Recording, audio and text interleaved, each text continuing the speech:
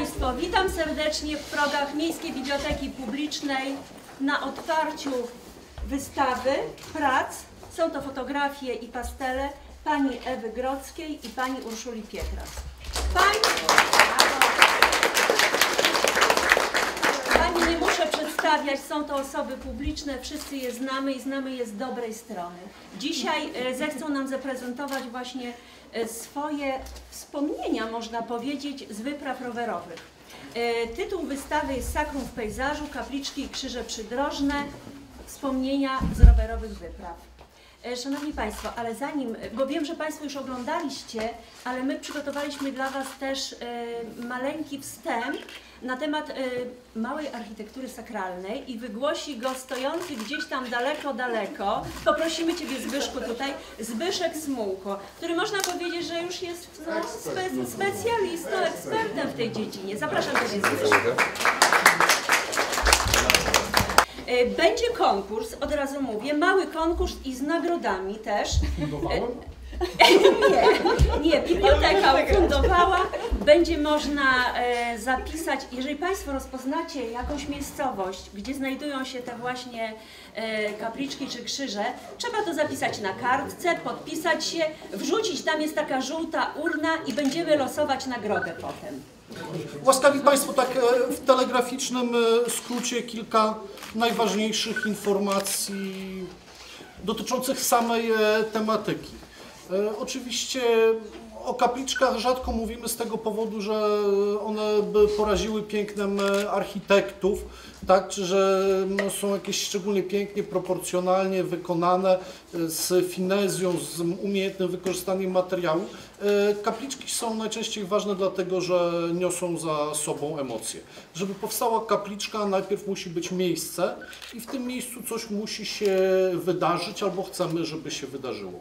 Więc e, kapliczki mogą pełnić funkcję e, błagalną, prośbę o jakieś dobre wydarzenie albo zachowanie od złych wydarzeń. One często są szańcami wręcz i w średniowieczu e, można zaobserwować i w okresie nowożytnym mniej, ale w średniowieczu bardzo wyraźnie, że wokół miejscowości, wokół jakichś kluczowych dla społeczności miejsc, one stanowią przemyślany system obronny. Dlaczego z jednej strony jest Matka Boska, a z drugiej strony jest Święty Jerzy, a dlaczego na rozstaju jest krzyż? Jeżeli się w tą tematykę wgryziemy, to się na przykład okaże, że e, na przykład e, Czemiernik broni nie tylko fortalicja, ale i system rozplanowanych od rozmaitych zagrożeń e, kapliczek i, i to jest istotne, dlaczego one stały w tym miejscu i dlaczego e, akurat e, te. E, Czasami są błaganiem o jakąś łaskę, e, czasami są przebłaganiem. W tej roli one, najnowsze kapliczki często występują, bo my je widzimy na przykład przy drodze. Tak, jako nie tyle upamiętnienie miejsca, gdzie wydarzyła się tragedia, e, ale też jako przebłaganie o jakieś, o Boże miłosierdzie dla osoby, która umarła bez sakramentów, umarła nagle. E, Sama tradycja jest stara praktycznie tak jak chrześcijaństwo. Wprawdzie pierwsi chrześcijanie, zwłaszcza na wschodzie, mieli pewien problem z tym, czy w ogóle można Pana Boga wyobrażać. Tak? Bo pamiętamy, Bóg Starego Testamentu jest Bogiem niewyobrażalnym, ale Bóg wcielony nagle pojawia się na ikonach, na obrazach, na wizerunkach. Na początku z Quo Vadis widzimy, że chodzi tylko o znaczek ryby, który jest ciągle symbolem, a nie pokazaniem Boga, który jest e, człowiekiem. I dopiero w VI wieku na zachodzie utrwalony jest e, na synodzie w Agd zgoda na to, żeby sporządzać wizerunki, przed nimi się modlić, umieszczać je poza e, świątyniami. Na wschodzie ta kontrowersja będzie trwała znacznie dłużej. Oczywiście najprostszą formą jest krzyż. No, on bardzo ewoluuje. Znamy XIX-wieczne te takie krzyże kowalskie, kute, te krzyże z dwudziestolecia z rurki e, takiej metalowej charakterystyczne. Teraz wydaje mi się, że albo one są odtwarzane, często staje jeden krzyż przy drugim. Ja mam takie miejsce w Ossowie, gdzie stoją trzy krzyże obok siebie już. Najstarszy, młodszy, e, tak one są coraz większe, ale już e, wszystkie drewniane. E, Dzisiaj też one są e, zdecydowanie prostsze. Kiedyś e, takim popularnym krzyżem w powiecie w tej chwili znam tylko jeden, był krzyż z insygniami męki pańskiej, gdzie na pionowej i poziomej belce są wszystkie te rzeczy, które zostały użyte w czasie męki, czyli te kopcęgi, gwoździe, włócznie, kolumna, przy której i tak dalej. Tam tych artefaktów jest kilkanaście. E, Zaginął już obyczaj stawiania krzyży karawaka, które stawiano na granicy wsi.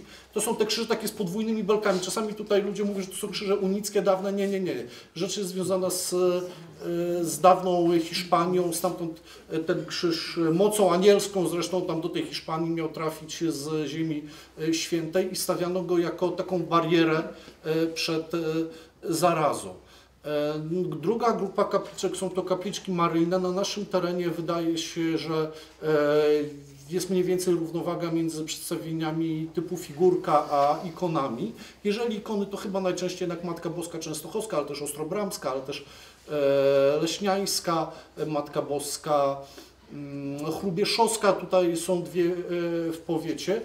E, No i wszyscy święci. Takim świętym, który najbardziej nam się kojarzy ze swoją funkcją przydrożną, bo spotykamy go albo na rozstajach, albo na moście, e, to jest święty Jan Nepomucen. Tak e, przy moście w oczywisty sposób on został utopiony, więc w jakiś sposób został powiązany z wodami, ale też jako patron podróży, patron drogi.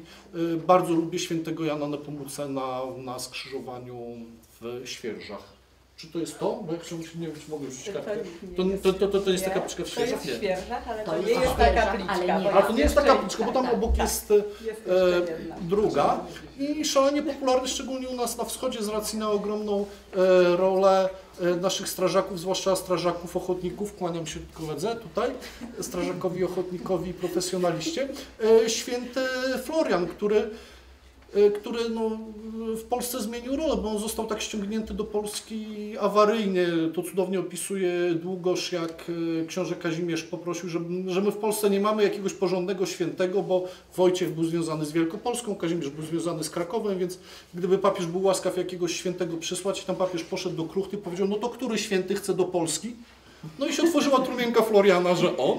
No i ten Florian trafił do Kazimierza na klepacz i on był, zresztą on, potem go e, Zbigniew Oleśnicki traktuje jako jednego z głównych patronów e, Królestwa Polskiego. Natomiast w XVI wieku był e, ogromny pożar Krakowa i tak naprawdę ocalał tylko kościół na kleparzu i na tej zasadzie Florian został Dostał wiaderko, tak, szlauch i został e, patronem strażaków. U nas taka kapitalna kaplica, ogromna, pełnofigurowa jest w Żeliźnie w naszym powiecie. Tak, na takim wielkim e, e, cokole. No i oczywiście są ci święci branżowi, tak, gdzie są e, myśliwi, tam za chwilę będzie święty Hubert, gdzie są e, policjanci, to za chwilę będą obrazki ze świętym Michałem. E, cudownie, że panie podjęły się dzieła zainspirowania nas, tak? Bo tutaj mamy kilkanaście, kilkadziesiąt obiektów, natomiast mi się zawsze marzył po prostu projekt, który by skatalogował wszystko według prostego klucza.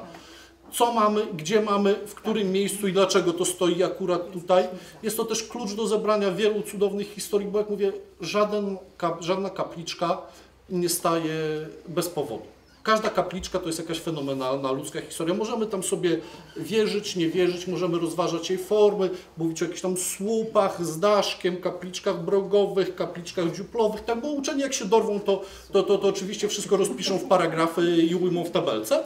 E, Natomiast pamiętajmy, że to są przede wszystkim cudowne ludzkie historie, które dziewczyny strasznie fajnie na tym wyciągnęły, tak? Bo te czy zdjęcia, czy pastele, one są nie tylko farbami, ale i emocjami i przygodami, tak? To nie są rzeczy skądś tam przepisane, tylko rzeczy przewłóczone, przesłuchane, przy których się było i za to wielkie dzięki.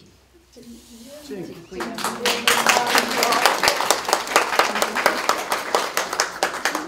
Zbyszku.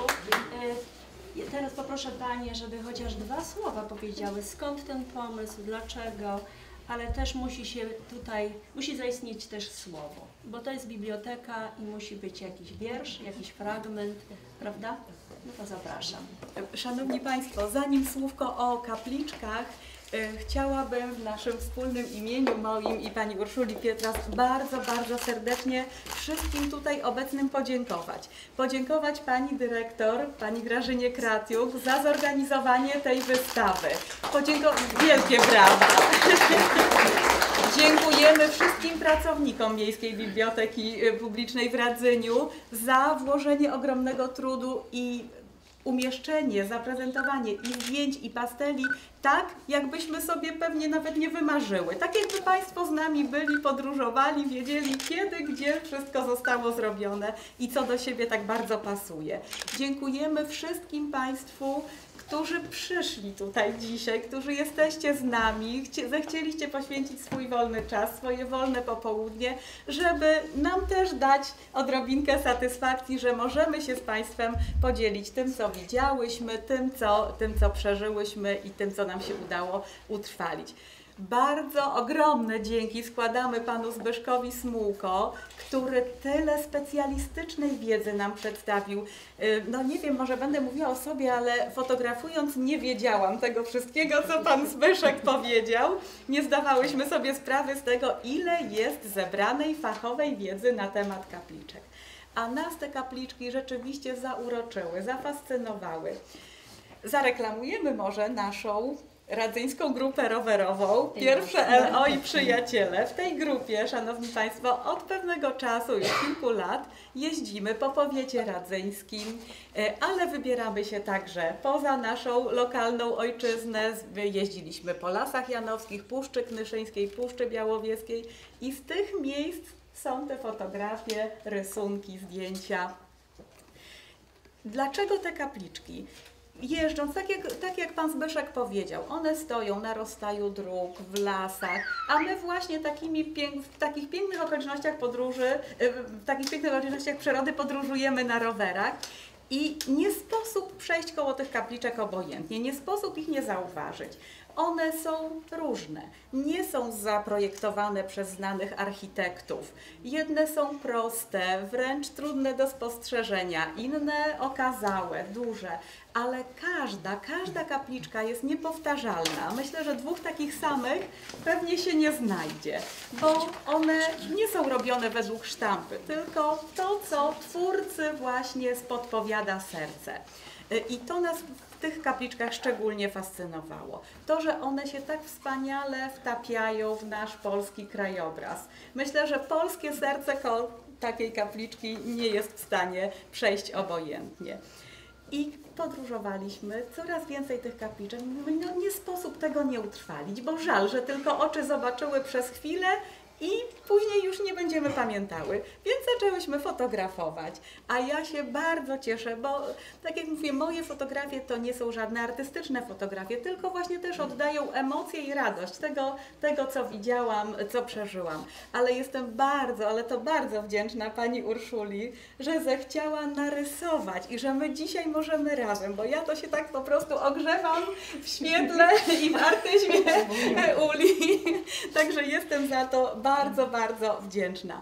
Y, No nie w sposób też nie wspomnieć pana dyrektora Tadeusza Pietrasa, bo to on nas tak bardzo motywował, że jest już zbiór, który warto pokazać. I nawet możemy chyba go tutaj ochrzcić kustoszem tej wystawy. Właśnie miałam to zapisane. Cichy kurator wystawy. No, przepraszam właśnie. Ewa, wszystko tak, nie umawiałyśmy się, co będziemy mówić. Ale myślę, że tak jak pani dyrektor powiedziała, biblioteka to słowo.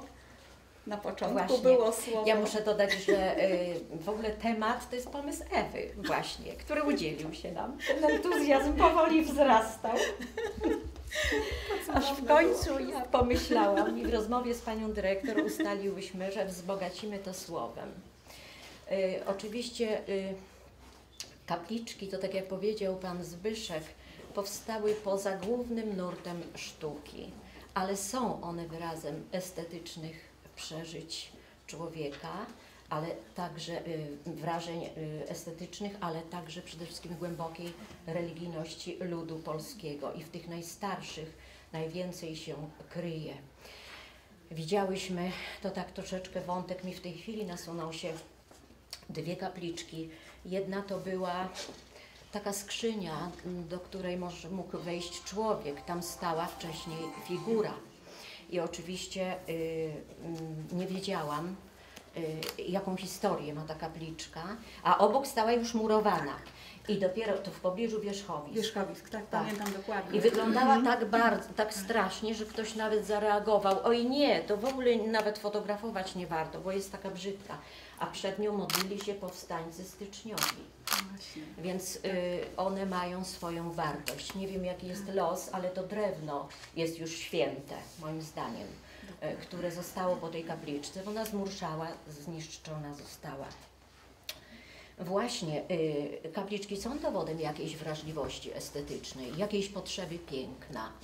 I y, tutaj mm, przypomniałam sobie Norwida w tym kontekście, y, który w Prometidionie powiedział, bo nie jest światło, by pod korcem stało, ani sól ziemi do przypraw kuchennych, bo piękno na to jest, by zachwycało do pracy. Praca, by się z martwych wstało. Największym muzykiem prosty lud, co nuci z dłońmi ziemią brązowymi. I właśnie ten Cyprian Kamil Norwid. Może na początek, dlatego wybrałam na początek wiersz e, bezpośrednio niezwiązany z kapliczkami Norwida. Krzyż i dziecko. Ojcze mój, Twa łódź wprost na most płynie. Maszt uderzy, wróć, bo wszystko zginie. Patrz, jaki tam krzyż. Krzyż niebezpieczny. Maszt się niesie wzwyż, most mu poprzeczny. Synku, trwogi zbądź. To znak zbawienia. Płyńmy. Bądź co bądź, patrz, jak się zmienia. Oto wszerz i wzwyż wszystko tożsamo. Gdzież się podział krzyż? Stał się nam bramą.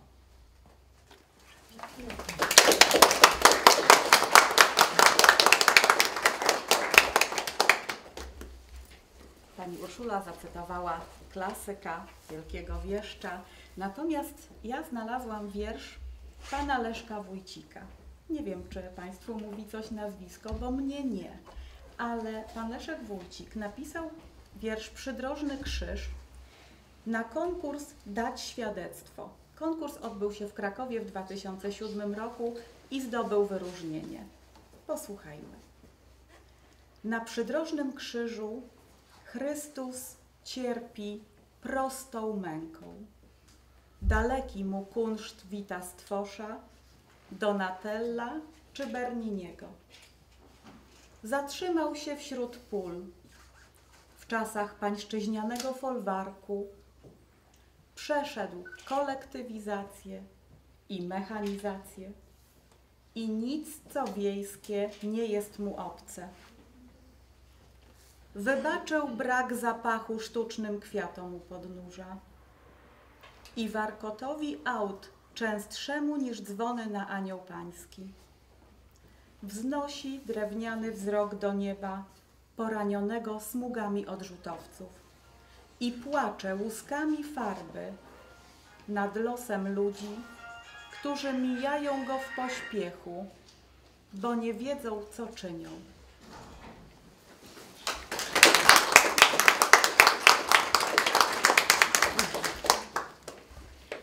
Pozostałe wybrane przeze mnie wiersze to poezja ludowa. Przydrożny świątek napisała Maria Kozaczkowa, poetka z regionu Lubelszczyzny. Szukając przyjaciela, by serce otworzyć, ominąłem świątynię wonną kadzidłami i poszedłem na rozstaje, gdzie stał świątek Boży, pochylony nad ostem i nad rumiankami. Był zczerniały od wichrów, bez dachu nad głową, samotny, jak wygnany kupiec synagogi. Nie taki jak w kościele, przed którym się modlą. Widać ten na rozdrożu był Bogiem ubogich. Nie było obok niego świateł ani złoceń wotywnych, było smutniej, wilgotniej i ciemniej. Jakże mógłby mi pomóc? Przy złamanym płocie, na tym deszczu, był jeszcze biedniejszy ode mnie. i tam pojąłem, gdzie jest Bóg dla samotnych ludzi, nieodłącznych przyrodzie, dla chleba czarnego. Czy Bóg stworzył człowieka, ażeby mu służył? Czy człowiek stworzył Boga, aby mieć sędziego?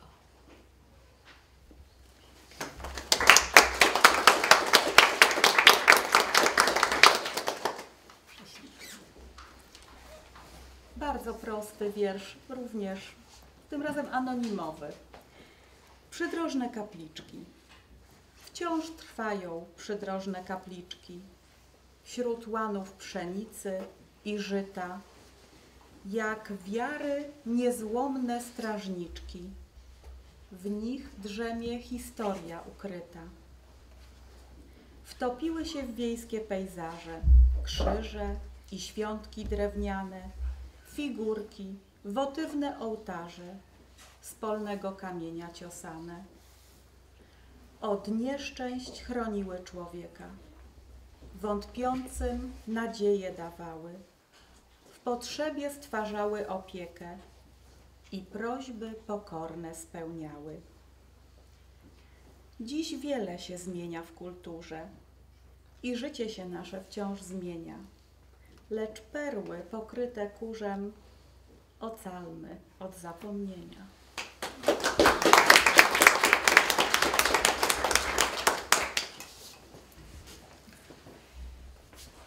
Wiersz napisał Skorusa. Jutro przydą pocie znowu, krzyż ciężki na plecy dadzą i z tym krzyżem pełnym grzechów na Golgotę wyprowadzą. Przed wiekami przewidzieli, jako set i się to syćko stanie. Tak mi cię zol, Panie, Pan Jezusie, zanim z grobu zmartwychwstaniesz. Tak nic nie wiem, co ci powiedzieć, co by ulżyć Twym cierpieniom. Kiesie patrzę na te światła, co się w Twej piwnicy mienią. A Ty siedzisz za krotkami, bez świat cały, nieszczęśliwy. Powiedz, jak Cię mam pocieszyć, mój Jezusie frasobliwy?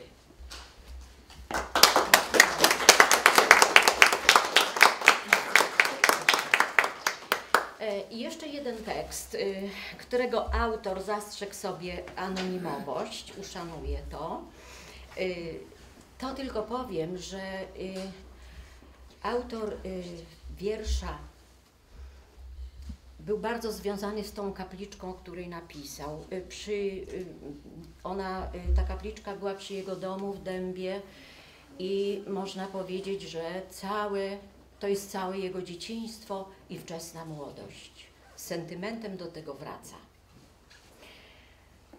Ty sprawiłeś, Jezu Panie, że w tym dębie tuż przy szosie nasz Antoni ma mieszkanie, swoją padwę mając w nosie. Wybrał dziwne miejsce w drzewie, ale kiedy? Nikt już nie wie. To nieważne dla nikogo, kto przechodzi obok drogą, lecz nie mija obojętnie, skinie głową lub uklęknie. Wszak niezwykła to kaplica, która kryje cudne lica Matki Bożej Różańcowej. Obok święty jest Antoni. Trzyma pewnie dziecię Boże i każdego od zła chroni. Już nie rośnie ten dąb stary, wiatr połamał mu konary. Liście na nim nie wyrosną, jak to było zawsze wiosną. Lecz nie martwi się nasz święty, dąb przykryty, choć ucięty, wciąż zaprasza na spotkanie, by odmawiać tam litanie.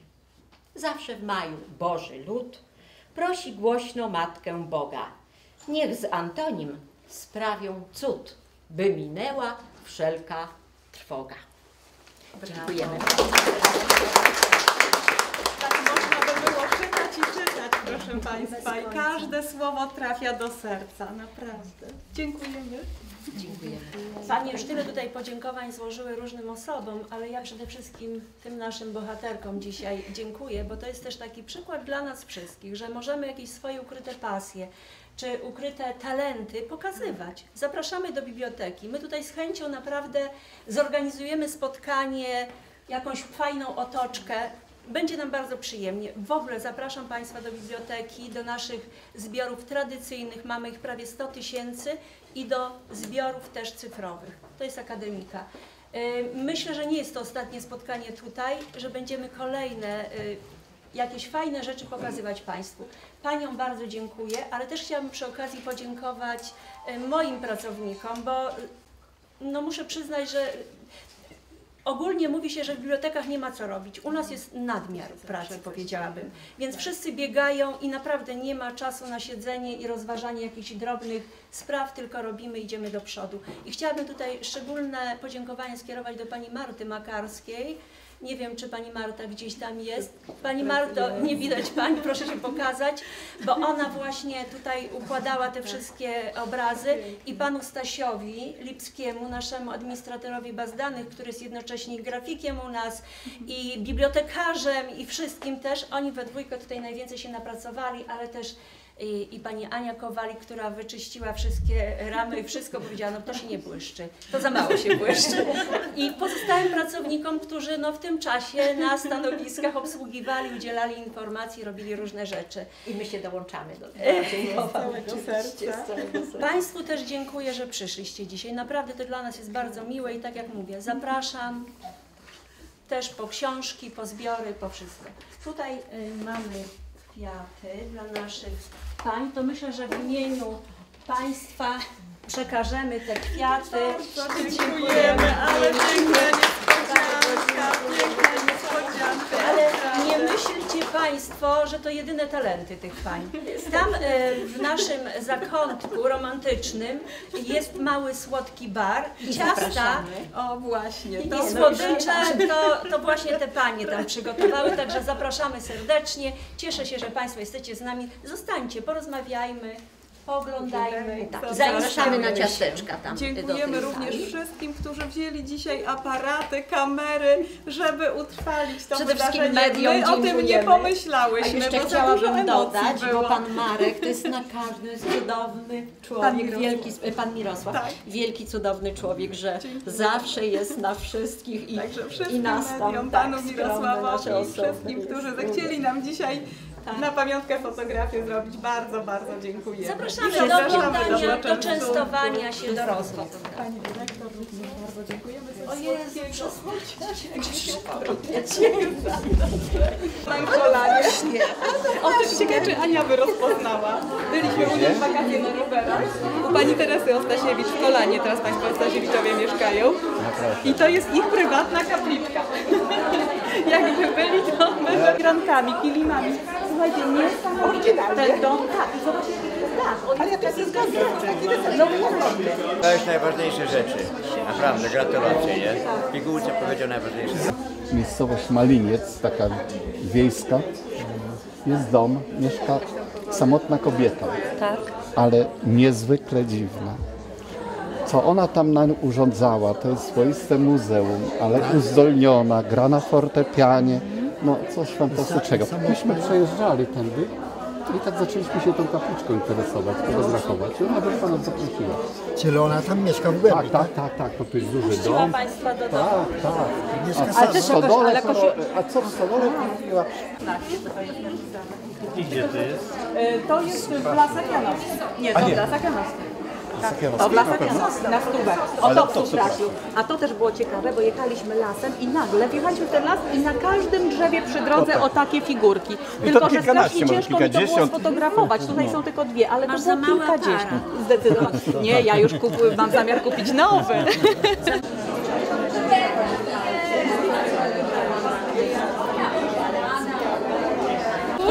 Szanowni Państwo, Zapraszamy wszystkich, którzy wrzucili szczęśliwą odpowiedź. ale wszyscy jedzą, nie słyszą. No dobrze. My nie jemy, ale Jeszcze jedna. Jeszcze jedna, zapraszamy, zapraszamy. Jeszcze nie za późno. Jeszcze ktoś? Wrzuciłaś swoją karteczkę. A co można, co można wrzucić? Można Odpowiedź, wrzucić jak się rozpoznało jakąś Dobrze, e, a może Jaceniu, proszę, wybierz jedną kartkę. O właśnie, chodź, wylosuj. No dobrze Ślicznie. zamieszaj. Tak? I są dwie. Tak, odczytaj. Kto A dostanie jedna nagrodę? jest. Tak, ale pięknie. Ana, Aneta Gęsior, dobrze czytam? Tak.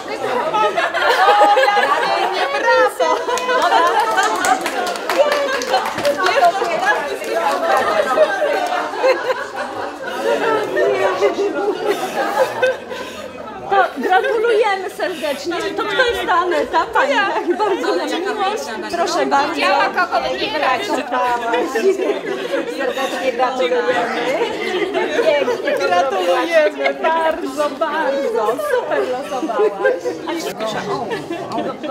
Tak, Gąsio, bardzo przepraszam, Dobrze, dziękujemy. Bardzo dziękujemy. Super, cieszymy się, że jest szczęśliwy zwycięzca. Super.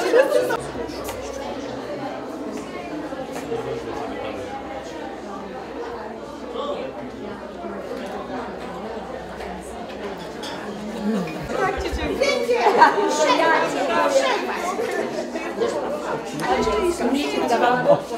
jest prosta. Gabliczka. Cudownie. Przepięknie. Jestem taka szczęśliwa, taki fajny. Dobra, to